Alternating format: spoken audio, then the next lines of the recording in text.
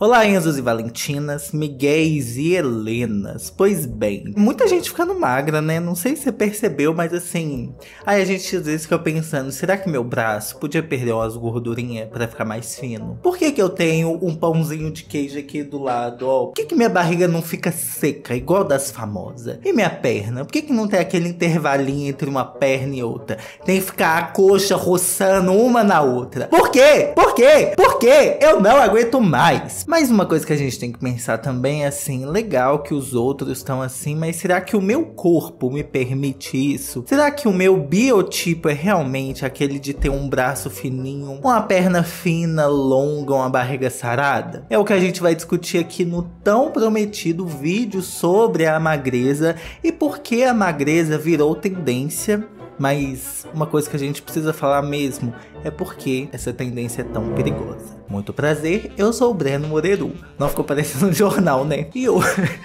Ficou parecendo um Moreiro Repórter? Pois bem. Eu sou o Breno Moreiro, seu sommelier de tretas gringas de Tutupão, que hoje estou de coquinho, pois passando por mudanças capilares. Novamente, não sei se eu precisava não, tá? Mas é isso, né? As imposições que a sociedade coloca na gente. Eu estou no Instagram, no Twitter, no TikTok e também, pros que pedem muito, no Siga-me em todas essas redes sociais, porque elas formam um ecossistema. Você seguindo todas elas, você entra para um ecossistema, se tornando um cristal e é com seu brilho que a gente mantém esse ecossistema funcionando. E aí, gente, eu queria começar falando que assim, a gente tá vivendo num momento não só que a estética, principalmente do corpo, é valorizada, mas ela é super valorizada. A gente abre qualquer rede social e a gente vê assim, nossa,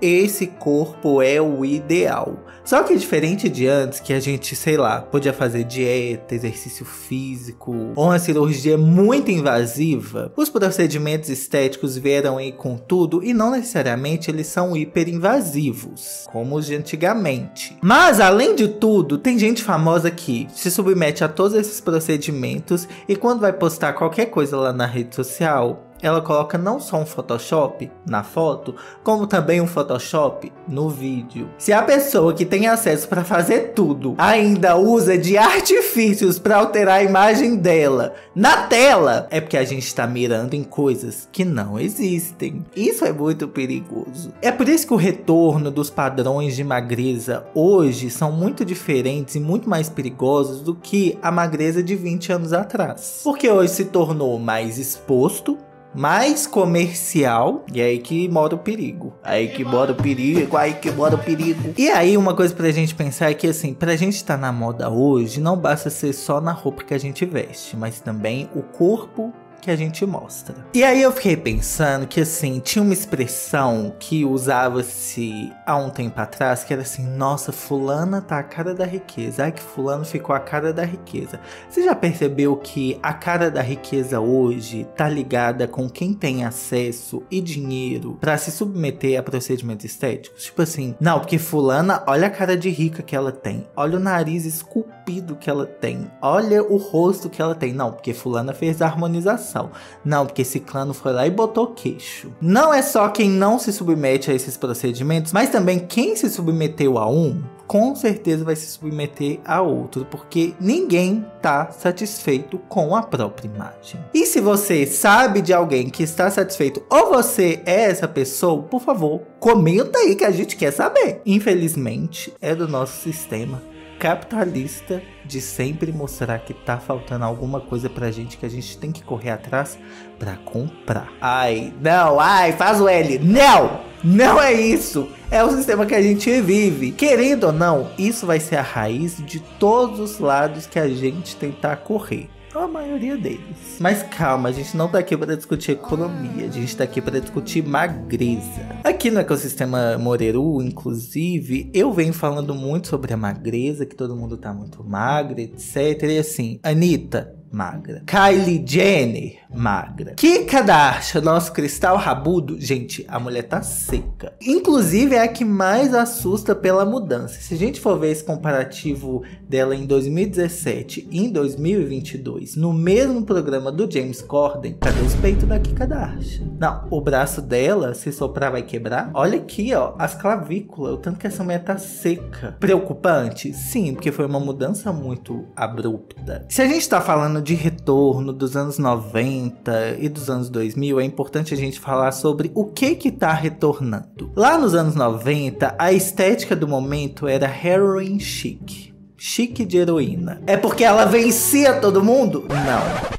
Infelizmente é por causa da Sim, o padrão de beleza nos anos 90, pasme, era pela evidência de uso das drogas no seu corpo. Aí era o que? Uma magreza em excesso, um olho fundo, uma olheira, uma atitude blasé. Era uma beleza que você tinha que parecer fraco, tá? Fraco de corpo. Isso era o chique. Isso tomou conta das passarelas de moda e a modelo conhecida por representar esse estilo era Kate Moss, que, adivinha, realmente tinha problemas com e o pior, gente, capa de revista. O Daily Mirror, a gente pode ver aqui que tava escrito lá de todo tamanho, Cocaine Kate. O The Sun, de novo, Cocaine. Meu Deus, meu Deus! Só que essa glamorização de um estilo de vida assim bastante arriscado teve o seu fim com a morte de David Sorrenti, um fotógrafo de 20 anos que era muito conhecido nessa cena do heroin chic. Se você quiser se aprofundar nesse assunto, que eu acho que não é muito legal ficar estendendo isso aqui no vídeo, vou deixar um link na descrição para você ler mais sobre o assunto. A relação que a gente pode fazer com o retorno dessa moda agora é a tendência da Succubus Girl ou da Gal Girl, que nada mais é do que essa aparência meio demoníaca. E adivinha, tem que ser magra também. A Kylie Jenner até flertou com essa estética, assim como a Dove Cameron, Noah Cyrus, a modelo Amata Alp, mas as conhecidas e reconhecidas por esse estilo são a Amélia Gray e a Gabriette. E aí, com a saída do heroin chic, abriu espaço para um novo padrão de modelo. A modelo entre muitas aspas com curvas. E quem foi a representação dessa nova estética? A nossa querida, a nossa maior, a maioral Uber Model, Gisele Bündchen, nosso orgulho nacional. Esse contraste entre duas estéticas é justamente para que uma seja completamente esquecida e seja esmagada pela outra. Um dos desdobramentos desse novo padrão de beleza foi justamente o crescimento e a popularização dos desfiles da Victoria's Secret. Literalmente todas, Todas as modelos que participavam do desfile da Vies eram altas, magras, peitudas e, em sua maioria, brancas. Ah, e tinha que ser loura também, a maioria delas. Mas, diferente das modelos de antes, essas modelos tinham curvas peitão. E claro que o que era visto nas passarelas influenciava outras esferas da sociedade e dos consumidores. Como isso chegava para o consumidor de um jeito bem problemático também, tudo mal. No mundo da música não foi diferente. A cobrança foi a mesma do mundo da moda. Lembra quando a Britney Spears, lá em 2007, teve o seu comeback no VMA e foi chamada de gorda? Gorda por ela estar desse jeito gorda. Esse é o corpo de uma mulher que passou por um surto psicótico, raspou a cabeça, brigou com paparazzi e entrou em um processo de curatela por mais de 10 anos e saiu recentemente. Daí ela volta, depois de tudo que aconteceu, e ainda ouve que tá gorda sendo que ela não estava gorda, e se ela estivesse gorda também, tudo bem. No cinema, a mesma coisa. Quem já assistiu Meninas Malvadas, que é um filme de 2004, tem a Regina George, que é interpretada pela Rachel McAdams. E aí ela é trollada com barrinhas proteicas para que ela ganhasse peso. E aí no filme o plot é que assim, ela fica gorda, ela sai do padrão. E todo mundo fala: "Nossa, como a Regina George tá gorda". E essa é a representação de quando ela tá gorda. Para o grande público, como chegava essa cobrança e como ela era vista como uma necessidade para o povo gastar dinheiro? Bem, uma delas eram as inúmeras revistas passando diversos tipos de dieta: dieta da lua, dieta da sopa, dieta do suco, dieta da água, dieta do caralho, A4. Com o passar do tempo, a mídia tradicional, revista, jornal, TV, rádio, foi perdendo força por causa da ascensão da rede mundial de computadores a internet. E aí um jeito fácil de explicar isso é que antes o que vinha de cima para baixo, em cima a mídia, baixo os consumidores, passou a trocar o trânsito. E aí aconteceu que as pessoas é que levavam para grande mídia o que, que ia ser discutido. E isso aconteceu meio que à força e a grande mídia teve que se render. É por isso que a gente teve uma popularização de discursos mais humanizados, que levam em consideração pessoas e contextos diferentes. É por isso que a gente teve um crescimento na discussão sobre feminismo, diversidade de corpos, diversidade de classes sociais, diversidade como um todo. Lembrando que o resgate dos anos 2000, nesse momento pós-pandêmico que a gente está vivendo, não é à toa. Porque os anos 2000 era sobre, ai, uh, vamos pra balada. Quem não lembra da Paris Hilton, Britney Spears e Lindsay Lohan? A trindade do caos dos anos 2000. Era sobre ir pra balada, mostrar o corpo, ser provocante. E a gente que durante a pandemia viveu sob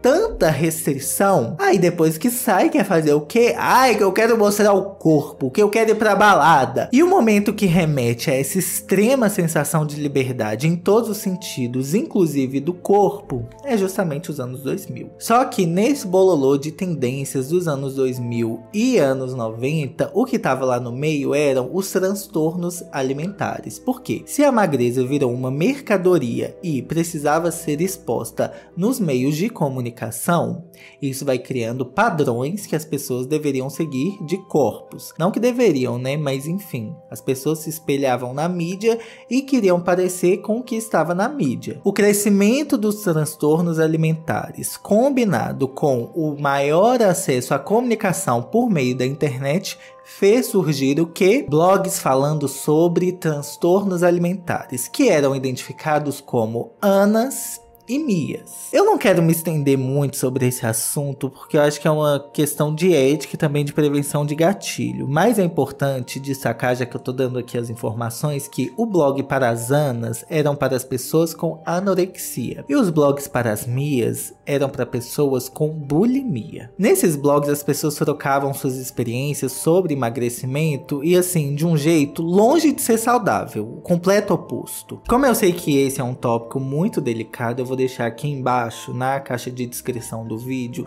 links que podem te ajudar e também vou deixar aqui o 188, que é o número do Centro de Valorização da Vida, para que você possa conversar com alguém e ter ajuda sobre essas questões. Se a tecnologia da época tinha os blogs para que essas pessoas trocassem experiências, nesse período de pandemia e pós-pandemia, temos o Twitter e TikTok que fazem o papel dos blogs nos anos 2000 e que falam abertamente sobre perda de peso, dietas restritivas, tudo ali disponível para todo mundo ver e infelizmente seguir. Outra coisa que se tornou muito popular é o uso indiscriminado de uma medicação para tratamento da diabetes tipo 2, o Ozempic. E o intuito é, adivinha, perder peso. Ou seja, as pessoas para perder peso estão usando de um medicamento que não precisam e pior, sem prescrição médica. A revista New York fez inclusive uma reportagem sobre o assunto, trazendo o relato de uma atriz que faz uso desse medicamento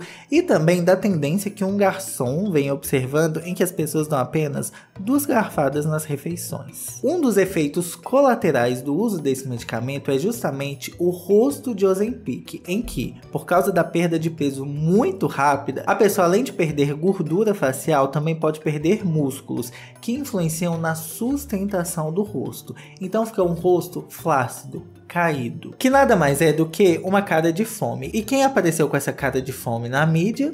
Kim Kardashian e Khloe Kardashian. E aqui nesse vídeo a gente precisa falar de uma coisa muito séria. Não existe fórmula milagrosa e sem esforço para perda de peso. Se você faz uso do Ozempic sem mudar seus hábitos de vida, esses quilos que você perdeu, eles vão voltar. E vão voltar muito pior, porque vai ser um efeito rebote. Nessas horas é fundamental que a gente procure ajuda profissional de médicos para te orientar durante esse processo, que não vai ser rápido, mas com certeza vai ser de um jeito saudável. Não só ajuda médica profissional, como também de profissionais da área da saúde mental, um psicólogo, um terapeuta. E uma coisa que eu gosto de pensar é que assim, toda mudança, principalmente que vai alterar o nosso corpo, começa de dentro para fora e não de fora para dentro. Então, quando a gente começa a fazer exercícios, começa a se alimentar melhor, o corpo vai mudando internamente e com o passar do tempo, esses resultados vão se tornando visíveis, ou seja, de dentro para fora. Se você faz uso de uma medicação externa para tentar mudar o seu corpo, esse resultado vai ser de fora para dentro.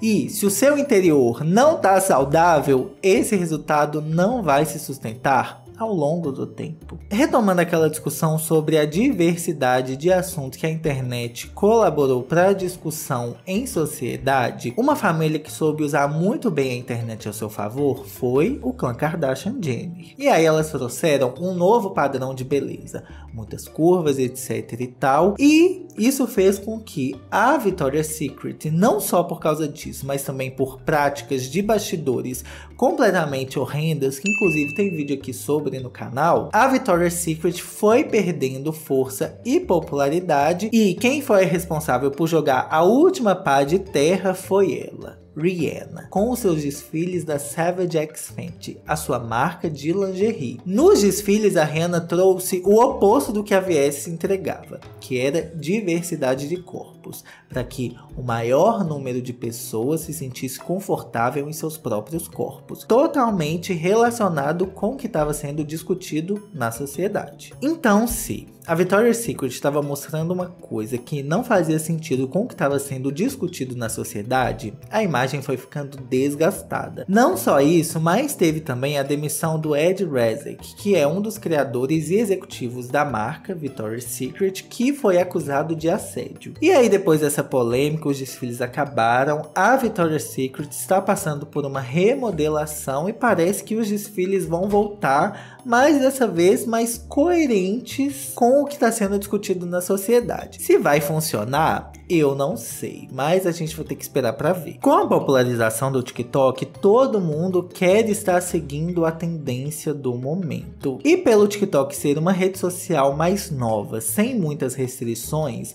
o que vai ficando popular lá não necessariamente é o que é certo. De 2010 em diante, um dos fatores para a popularização das redes sociais foi justamente ver pessoas mais próximas à nossa realidade ganhando espaço. E aí, com o passar do tempo, essas pessoas foram se distanciando e é por isso que o TikTok voltou tão forte. Por isso que muita gente fala assim: ah, para que, eu vou fazer faculdade se eu posso ser famoso no TikTok? Porque hoje em dia o conceito de fama tá muito mais horizontal do que vertical vertical, porque um número maior de pessoas consegue ter uma certa notoriedade, diferente de antes que era um número menor de pessoas fazendo com que essa notoriedade fosse mais restrita. O problema de mais pessoas ganhando notoriedade é que nem sempre essas pessoas vão ter a responsabilidade sobre aquilo que estão comunicando, porque nem sempre elas têm o preparo para falar sobre aquilo. E aí uma das consequências negativas é que se muita gente está falando sobre isso,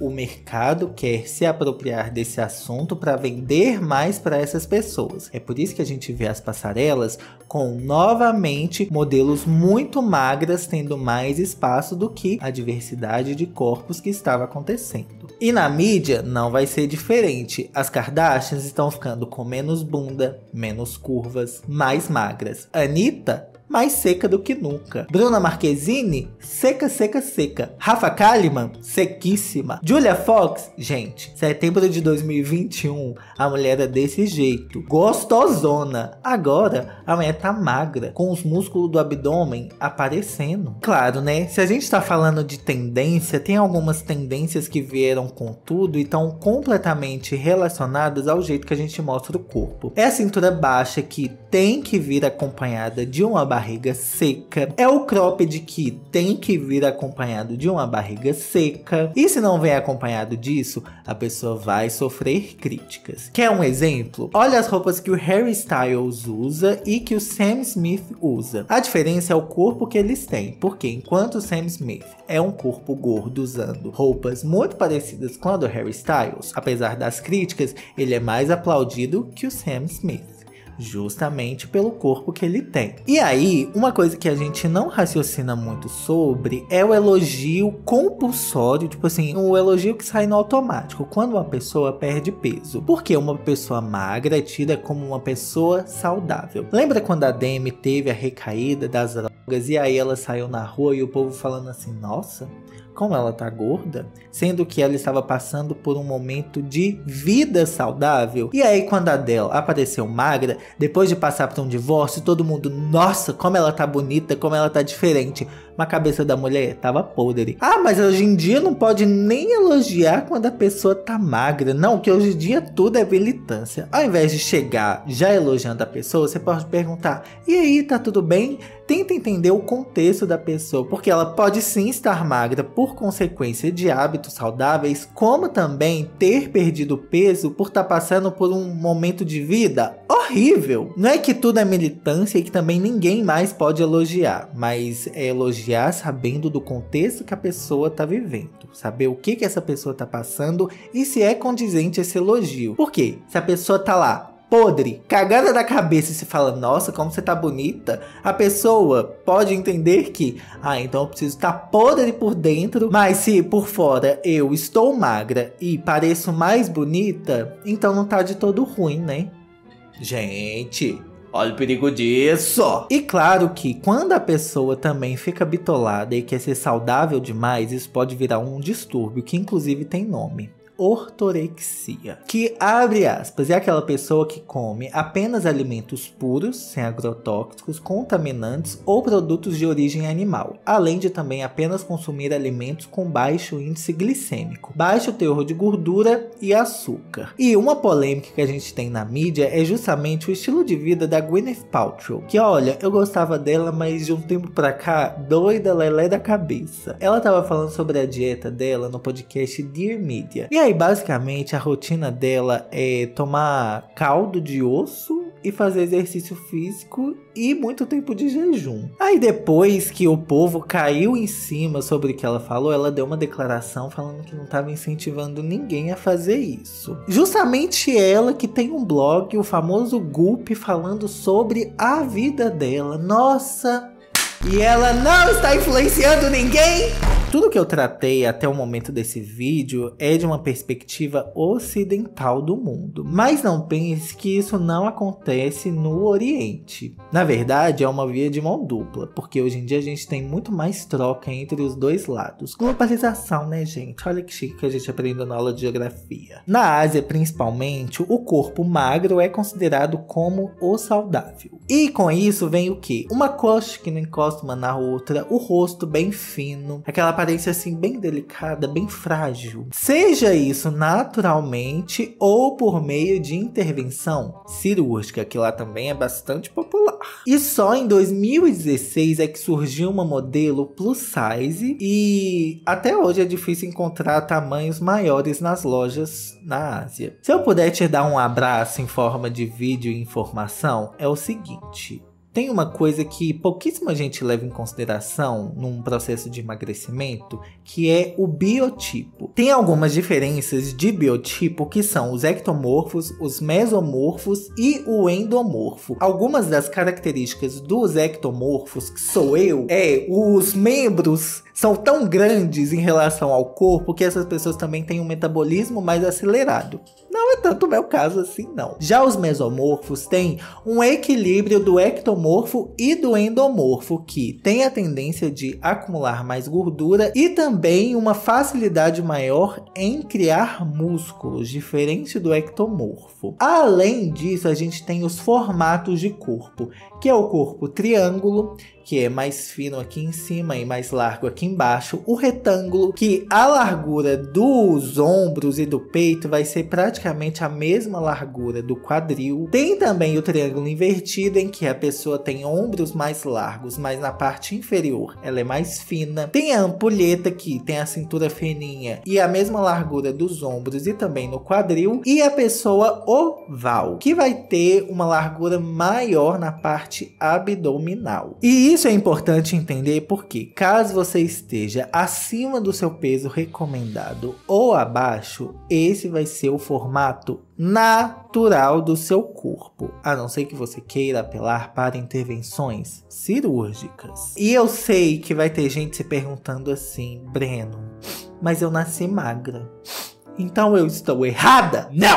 Ou você é pick me, ou você gosta de ser oprimida. O que eu tô criticando aqui é a imposição da magreza para pessoas que não têm essa tendência naturalmente. Além disso, eu acabei de falar sobre a diversidade natural de biotipos. E aí é nessas horas que a gente precisa ter muito cuidado com o conteúdo que a gente consome, assim como as pessoas em que a gente se inspira. Não adianta eu ter 1,50 de altura, ter um corpo completamente diferente de uma modelo de 1,80 com as pernas finas, que é ectomorfa, feita para ser uma vareta, e eu aqui com o corpo pera 1,50 querer ser igual a um modelo de 1,80.